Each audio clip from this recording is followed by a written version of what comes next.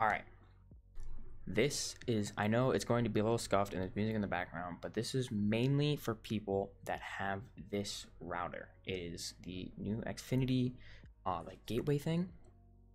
And if you run into an issue where you need to reset it, there is a WPS button on the back. It's a circle. It's on the back side. It's the, literally the only button on the whole device.